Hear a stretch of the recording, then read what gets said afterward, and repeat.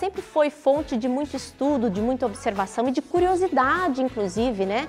O filme Divertidamente 2, que está em cartazes nos cinemas, aborda justamente essas questões. O longa-metragem realmente faz a gente refletir e mergulhar no universo das emoções. Se engana quem pensa que é um filme só para crianças, viu?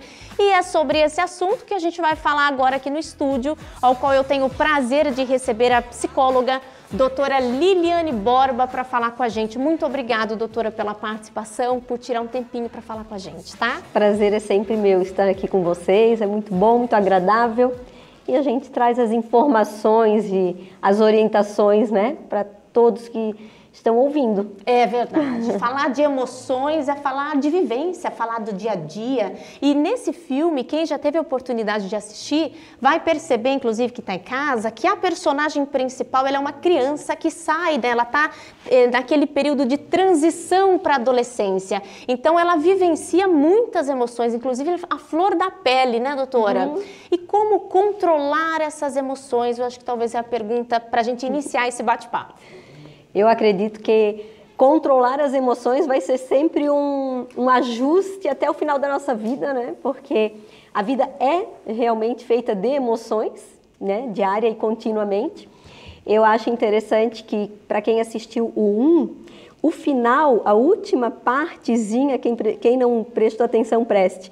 Passa um caminhão, passa e está escrito nele mudança. Olha só e ali que legal, né? já dá o Já passo dá o time para o segundo. Para que vai dizer assim, a próxima fase é a fase da adolescência, é a fase de, se não a maior fase, né, a mais impactante, uma das principais ali, porque é ali que a gente tem toda um, um, uma gama de emoções vindo, confusões, é hormônio, é o corpo, né? Eu falo, eu costumo falar que assim, enquanto a gente é criança, a gente usa as roupas e tal, e se sente aquilo ali. E quando tu tá na, na fase da adolescência, é como se mais ou menos tu não servisse mais a roupa da criança, mas a de adulto ainda também não é a tua. Então tu fica naquele meio termo, Perdido, tipo, né? e agora, né? Isso é para mim, não é para mim, isso sim, isso não, como que eu quem sou eu, para onde que eu vou, né? O que é, o que eu estou, é o quem sou não, mas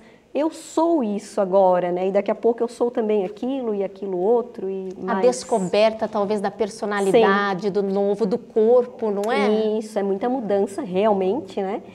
E, e as emoções estão ali, a flor da pele, o tempo todo. E depois a gente continua a vida inteira com essas emoções. É, a dica principal é aprender a observar, a sentir. Olha só. Né? Essa é a dica principal, aprender a sentir. Então, quando a gente identifica o que está sentindo, tudo fica mais fácil. E né? a gente não pode, acho que, fugir das nossas emoções. Né? Porque a gente está dando exemplos agora de crianças, de adolescentes, que estão nessa fase de transição da vida. Mas também falando um pouco dos adultos, né? da parte que nos cerca, a gente também tem essa dificuldade Claro. de lidar com as nossas emoções do dia a dia, né, doutora? Às vezes até mais. É verdade. Porque eu costumo falar que o adolescente, é, a criança ela chora e faz a birra, né?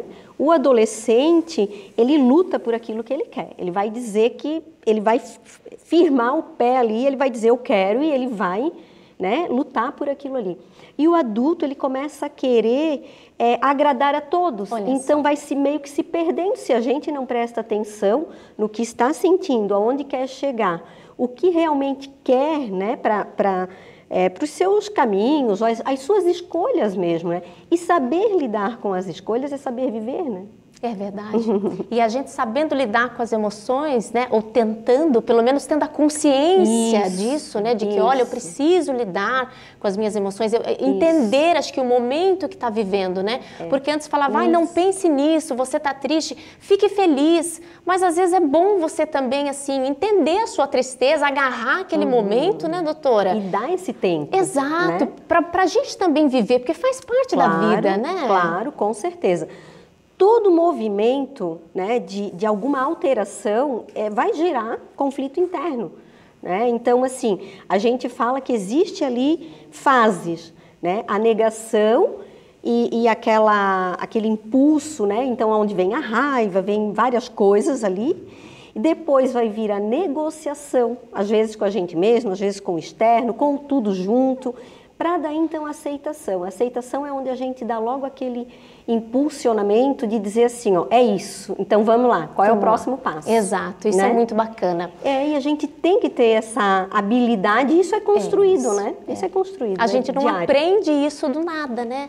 É com não. o passar do tempo, é às isso. vezes até com acompanhamento médico especialista, sim, porque às sim. vezes, né, as, as, crianças, os adultos, às vezes a gente não consegue lidar sozinho com isso, isso. e precisa buscar ajuda, né? Isso, e eu sou, sempre costumo falar assim, ó, a gente não precisa lidar com tudo sozinho. A gente tem uma série de profissionais maravilhosos, a gente tem, claro, tem os amigos, tem a rede, né, a rede de família, apoio. o apoio, né, isso é muito é importante. Mas os profissionais, eles são treinados para isso. Então, eles estão ali justamente para te dar aquele amparo que, em alguns momentos, talvez sozinho vai ficar ou mais difícil Sim. ou mais lento, ou as duas coisas, né? É verdade. Então, é possível. Sim, e detectar também, né, doutora? Acho que a gente Sim. podia talvez encerrar nosso bate-papo falando uhum. sobre isso, né? Os isso. pais que perceberem né, algum, algum problema no filho, ou até, ou, até, ou até às vezes não conseguem se aproximar das uhum. crianças, dos adolescentes, para que tenha né, o coração ali isso. de acolhida, para entender o momento que cada um está passando também, né? Essa palavra, o acolhimento, ele é fundamental. Primeira coisa é o acolher e baixar a necessidade de julgar. Só ouvir, né? Então, é isso? Hum, então, deixa falar, né? E aí depois, uma pergunta que é útil é, é, eu posso te ajudar de alguma maneira? Porque às vezes a pessoa ela não quer aquela ajuda naquele momento, ela quer primeiro ser ouvida, né? E aí, se ela disser sim, eu preciso, deixa ela dar, sinalizar. Porque senão a gente fica nessa necessidade de pegar tudo pra gente. Olha e a gente só. também não dá conta. É verdade. Né? Adoece junto. Nem vezes. me fale, pelo amor de Deus, aí adoece a família inteira, e aí né? Fica todo mundo meio desestabilizado. Verdade. Uhum. Doutora, muito obrigada pela participação. A gente conversou com a doutora Liliane Borba. Espero que volte mais vezes para outros bate-papos. Será um prazer sempre. Obrigada, viu? Obrigada também. Boa